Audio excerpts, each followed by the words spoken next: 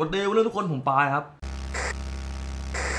สลับมาในปืนซีซั่น2กันบ้าง คือปืนเนี่ยจะสลับแบบซีซั่น1ซีซั่น2ซีซั่น1ซีซั่น2ของ Battle Pass ก่อน แล้วค่อยไปปืนซีซั่น1 Reloaded แล้วก็ปืนซีซั่น2 Reloaded รอบนี้มากับปืน submachine gun ในซีซั่น2 Battle Pass ปืนนี้ก็คือ RAM-9 นั่นเอง หรือชื่อจริง CTAR-21 RAM-9 เนี่ย มันมีบางอย่างที่คล้ายๆกันกับ RAM-7 อย่างเช่นเรื่อง damage range ที่ระยะไกลกว่าชาวบ้านเขาเลย shot to kill ระยะแรกของ RAM-9 อะ คือไกลที่สุดในบรรดา submachine gun ทุกปืนแล้วอะ่ะ เพราะ shot to kill ระยะแรกของ RAM-9 ก็ปาไป 20 เมตรนิดๆแล้วอะ่ะ คือไกลกว่าชาวบ้านเขาเลยอะ่ะ นี่คือสิ่งที่ RAM-9 กับ RAM-7 คล้ายๆกันนะฮะ ส่วนอีกอย่างหนึ่งที่คล้ายๆกันก็คือเรื่องของ recoil นั่นเอง RAM-7 มันดีดแล้วก็สะบัดด้วย ส่วนของ RAM-9 ดีดไม่พอ มีดีดซ้ายดีดขวาโคตรเร็ว มันจะมีจังหวะหนึ่งอะที่แรมเก้ามันจะยิงปุ๊บ แล้วมันก็ดีดซ้าย ดีดซ้ายเสร็จแล้วมันก็ดีดขวาเลย ดีดขวาเสร็จแล้วมันก็กลับมาดีดขึ้นอีกรอบหนึ่ง ซึ่งตรงนี้นี่แหละที่มันเป็นปัญหาของแรม9ในเรื่องของรีคอย ส่วนสิ่งที่ดีของแรม9นอกจาก Damage Range แล้วยังมีเรื่องของ TDK ด้วย เพราะ TDK ปืนนี้ ไวเป็นรองแค่ WSP Swarm เออ TDK ปืนนี้อ่อยู่ที่ 260 millisecond ซึ่งนำ Rival-9 ไป 4 millisecond เพราะ Rival-9 TTK มัน 264 แต่ปืนนี้มัน 260 แต่ WSP Swarm ระยะ 220 millisecond อะมันสั้น เท่ากับว่าคือปืนเนี่ย ถ้าเป็นเรื่องของ TDK โดยรวมอะ ปืนเนี่ยน่าจะดีที่สุดในบรรดา submachine gun แล้วส่วน fire rate ปืนนี้อยู่ที่ 923 ลาว per minute ซึ่งก็ไวอยู่นะ อีกนิดก็ใกล้พันแล้วอะส่วนเรื่องอื่นๆ อย่างพวก mobility กับ handling ก็กลางๆ เพียงแต่ว่ามันจะมีเรื่องของ sprint to fire speed ที่ปืนนี้อาจจะช้าหน่อย แล้วก็อีกอย่างหนึ่งปืนเนี่ยมันเป็นปืนที่เล่น tac stance ได้ดีมากเลยเว้ยเพราะด้วยมันรัวและพอเล่นแบบ tac stance อะมันแทบไม่ไม่ต้องคุมมากเลย เป้าก็โคตรเล็ก เฮ้ยทำอะไรเอ้ยไม่ใช่ร้องอะไรทำอะไรเอ๊บเอ๊บเงียบเงียบร้องดิร้องดิโบนะโบนะเออเอ๊ะเอ๊ะเอ๊ะเอ๊ะเอ๊ะอย่ามีครั้งที่สองเออลืมบอกลืมบอก ตอนนี้ช่องปายปลากระพงสามารถให้ Super Chat และสมัครสมาชิกได้แล้วนะฮะ อ่า มี 3 ระดับ มีปลากระพง uncommon ปลากระพง rare ปลากระพง epic เออว่ะ ลืมใส่ Intel Stella เลยทำคาโมได้แต่ไม่ใส่ก็เสียดายอยู่ อะ หน้าโกดด้วย เสริมดวง อยู่ไหนวะ เออ มาสกิทโล ทีมเดดแมทเดี๋ยวหาที่เทสรีคอยก่อน ตรงนี้น่าจะชัดอยู่ สักสิบเมตร เอาแบบไม่คุมนะเนี่ยเห็นป่ะแพทเทิร์นรีคอยอย่างที่ผมบอกว่า เฮ้ย ทั้งที่โอ้โหมันต้องไม่มีน้ำโหวะ คนเขาเทรีคอยอยู่ไอ้นี่เสียมารยาทแน่คือเห็นป่ะแพทเทิร์นรีคอยอย่างอย่างที่ผมบอกเลย มันจะดีดไปทางขวาก่อนแล้วดีดไปทางซ้าย แล้วก็ค่อยดีดขึ้นไปอีกรอบหนึ่งแล้วก็อันนี้แบบคุม แต่แบบคุมนี่เห็นได้ชัดเจนเลยว่า ยิงไปสักพักหนึ่งมันจะดีดซ้าย แล้วก็กลับมาขวา แล้วกลับมาดีดตรง คือไม่ดีดจากซ้ายไปขวาก็ขวาไปซ้ายรีคอยมันผมรู้สึกว่ามันไม่สมเหตุสมผลกับไอตัว damage range เท่าไหร่ เพราะถ้า damage range มัน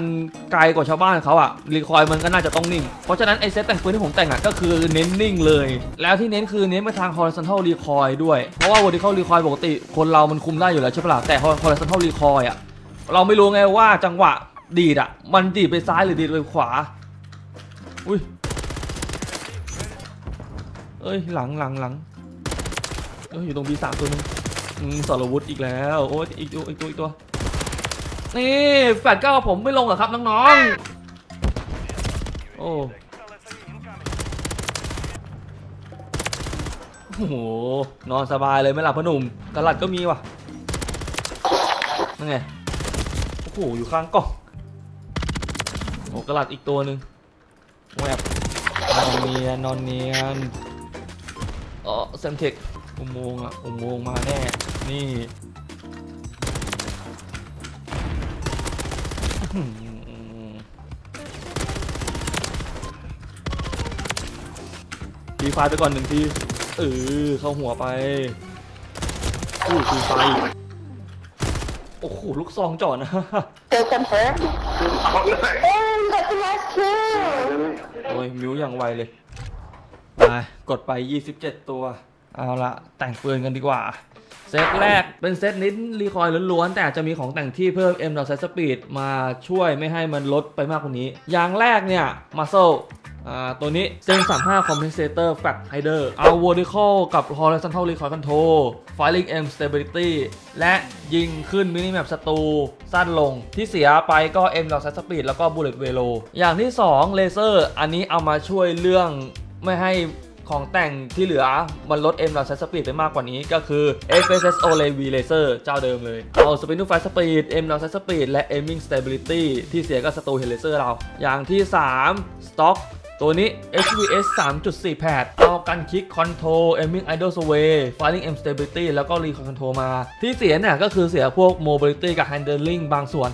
ที่เห็นเลย อย่างที่ 4 เรียกิฟเป็นตัวนี้ Retort 90 กิฟเทปที่ได้ก็รีคอยโดยรวมนะ แล้วก็ Firing Aim Stability แต่ที่เสียก็ Aiming Idle Sway อย่างสุดท้าย Under Barrel ผมมี 2 ช้อยให้เลือก ช้อยแรกถ้าใครอยากได้ Horizontal Recoil และ Firing M Stability เพิ่ม แต่อาจจะต้องออกแรงคุมรีคอยหน่อยหนึ่ง ก็เป็นตัวนี้ BN Heavy Support Grip ที่ได้ก็ Horizontal Recoil Aiming Under Sway การคิดคอนโทรลแล้วก็ Firing M Stability ส่วนที่เสียก็ M d a s h Speed แล้วก็ Vertical Recoil ส่วนช้อยที่2ถ้าใครไม่อยากออกแรงคุมรีคอยมากกว่าตัวตะกี้นี้ แต่อาจจะไม่ได้เรื่องของ Firing M Stability แล้วก็อาจจะเสีย M นะชัสปีดไปหน่อยหนึ่งนะก็ตัวนี้ Lock Grip Precision 40 ก็เอา Recoil Control โดยรวมมา ส่วนที่เสียก็ M ดอก Side Speed เสียกว่าตัว Blue N Heavy Support Grip ไปหน่อยหนึ่งนะฮะแต่ออกแรงรีคอยคุมน้อยกว่า รีคอยตัวเนี้ยจะจบสั้นกว่า Blue N Heavy Support แต่ถ้าเป็นผมผมเอาตัวนี้ Blue N Heavy Support Grip เพราะว่ารีคอยแนวตั้งอะผมออกแรงได้อยู่แล้ว แต่ถ้าเป็นแนวนอนอะเราไม่รู้ไงว่าบางทีมันจะสะบัดซ้ายไปขวาหรือขวาไปซ้ายก่อน ก็เลยเอาตัวนี้มาดีกว่า เพราะว่ามันได้ Firing Aim Stability ด้วยใส่ Interstellar ตีบวก แล้วก็นาโกดเสริมดวงนี่เดี๋ยวมาดูคีย์หลักของเซตนี้กันดีกว่าที่ได้ recoil control เนี่ยคือได้เต็มๆเลยเลนเนี่ย เสีย bullet velo ไปหน่อย Handling เสีย Aim Down Sight Speed ไป 14%จากเดิมเนี่ย ADS Speed มันอยู่ที่ 200 millisecond เป๊ะๆแต่ว่าที่ได้ของ Handling ก็ Sprint to Fire Speed มาหน่อยนึง Accuracy นี่คือตัดไปเลยเพราะว่าก็ไม่ได้ใช้อยู่แล้ว I Rise โอเค ไม่ค่อยกลางเกมเท่าไหร่ เดี๋ยวแบบไม่คุมก่อนนะ คือ recoil pattern อะ มันอาจจะคล้ายๆ กับแบบตอนไม่แต่ง แต่ที่เห็นได้ชัดเลยคือ gap ความห่างของของกระสุนอะ แคบกว่า แล้วก็ตะกี้เห็นปะตัว visual recoil มันสะบัดน้อยมากๆเลย เดี๋ยวอันนี้แบบคุ้มแล้วกัน มันยังแบบคุมตะกี้นี้มันดีดซ้ายไปขวา น้อยกว่าแบบไม่แต่ง แล้วคือแต่งเนี่ยให้มันสมเหตุสมผลกับตัว damage range มันอะที่ไกลตั้ง 20 เมตรอุ้ยกี่เมตรวะน่ะอุ้ยสามจุดห้าเมตรต้นไมายิงไม่ถูกอยู่ด้วยไม่เข้าไปดีกว่า ไม่เสี่ยงไม่เสี่ยงไม่เสี่ยงเดี๋ยวได้คอนเทนต์อีก ดักฆ่าแบบ control นี่แหละ อืม headshot โอ้ข้างข้างหนึ่งตัวสองตัว อุ้ยมัน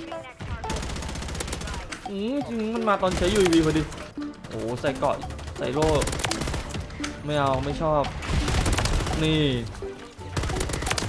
อุ้ยคัตเตอร์ไม้เอ้ยไม่ใช่ไอ้มอท่าอ้าว ได้เพปโลมาเฉยเลยแตกตัวไกลๆโอ้มัน one shot พอดีอุ้ยเข้าหัวอืมมาตอนใช้ stim พอดีอุ้ยสไน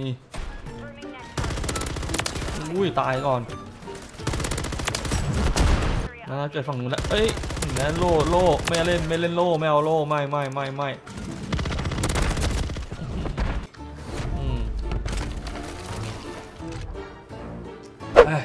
กดไป 30 ตัวเอาละ เซตที่ 2 เซตเน้น tac stance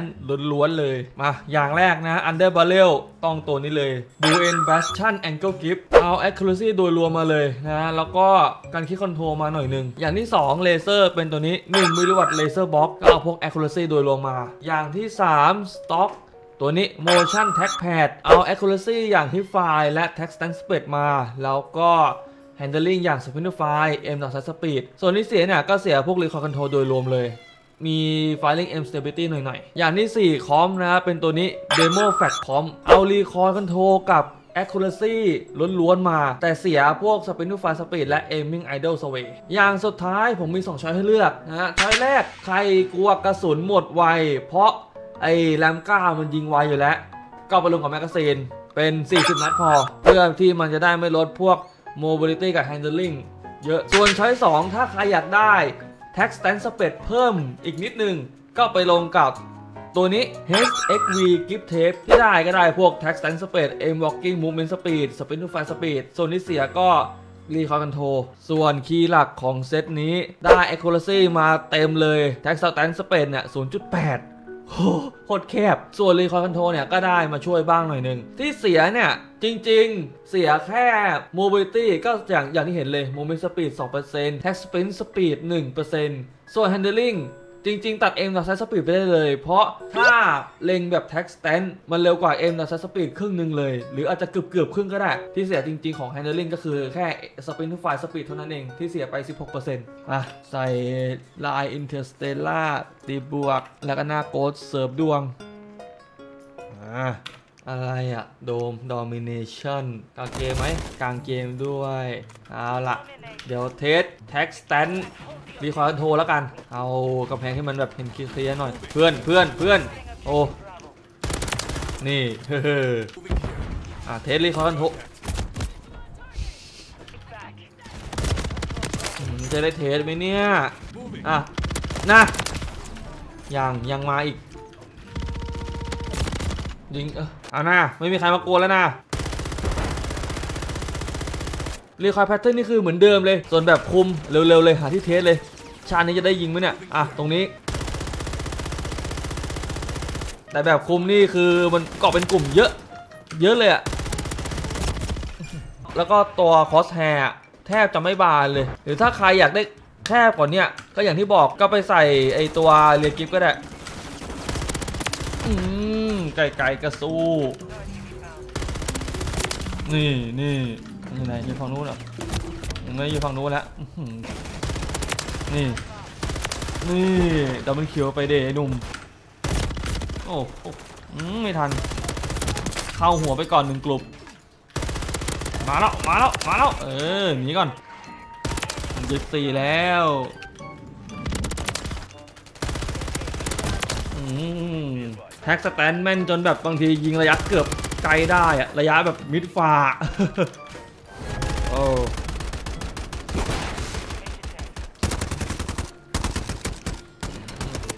เทียเจ็ดหกยังไม่ได้ทำเลยวะเดี๋ยวถ้าช่วงไหนที่แบบคอนเทนต์มันหมดแล้วจะเอาปืนโมโ r แฟร์สองที่ไม่ได้ถ่ายมาถ่ายในโมโ r แฟร์สามนี่แหละเอาละนี่คือ RAM-9นะฮะ ปืนสาย machine gun ในซีซั่น2 เอาจริงแค่เรื่องของ Damage Range แล้วก็ TTK อะมันทำให้ปืนเนี่ย แทบจะทรงพลัง อีกปืนหนึ่งใน